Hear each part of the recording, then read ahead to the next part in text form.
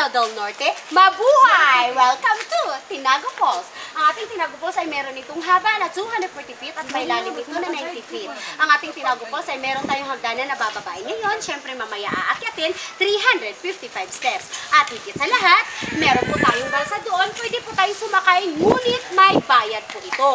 At doon lang po tayo makipag-usap sa mga taong tagahila nito. Kapag nagpalitrato lang po tayo ng ating balsa, syempre wala po itong bayad. Ang ating Tinago Falls ay hawak ito ng LGU Iligan, naging boundary ito ng Linamon, Lanao del Norte.